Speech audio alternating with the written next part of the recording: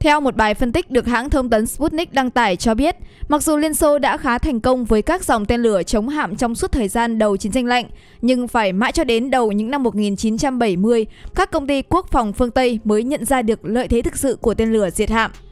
Người Mỹ chính thức sở hữu một tên lửa chống hạm đúng nghĩa vào năm 1977 với tên lửa chống hạm Harpoon. Trong khi đó, Pháp là với tên lửa chống hạm Escape vào năm 1973 và mãi đến năm 1983, quân đội Mỹ mới đưa vào trang bị mẫu tên lửa hành trình nổi tiếng nhất của mình, Tomahawk.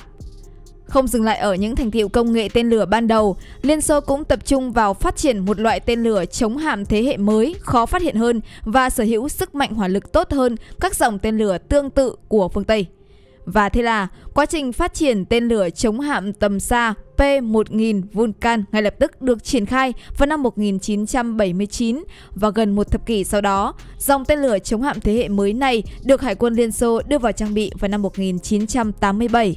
P-1000 Vulcan, thế hệ tên lửa chống hạm tầm xa tiếp theo của Hải quân Liên Xô, thay thế cho tiền nhiệm P-500 Bazan được đưa vào trang bị từ năm 1970. Đây là loại tên lửa chống hạm có nhiều tính năng được cải tiến với tốc độ siêu thanh Mach 2.8, tầm bắn ước tính 700 km và có thể mang đầu đạn hạt nhân 350 kiloton.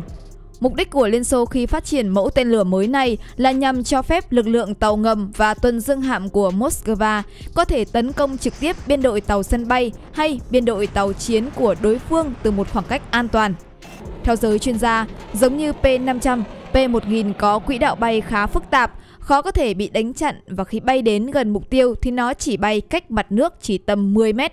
Điều này khiến cho nó trở nên vô hình với hệ thống radar của đối phương.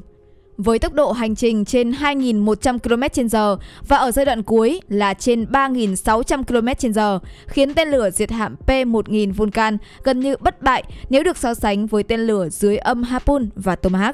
Đặc biệt, đầu đạn 500 kg của nó có thể tung ra một cú đấm mạnh mẽ, gây thiệt hại nặng cho tàu khu trục, tàu tuần dương và thậm chí là cả tàu sân bay.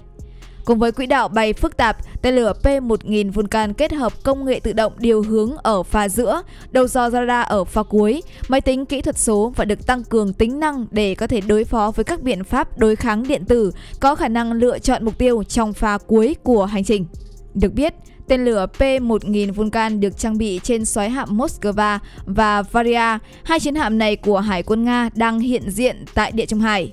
Các chuyên gia quân sự đánh giá rằng dù được đưa vào trang bị từ những năm 1980, nhưng tên lửa hành trình P-1000 Vulcan vẫn là một trong những tên lửa chống hạm mạnh nhất từng được chế tạo trên thế giới và chưa có gì có thể đánh bại được.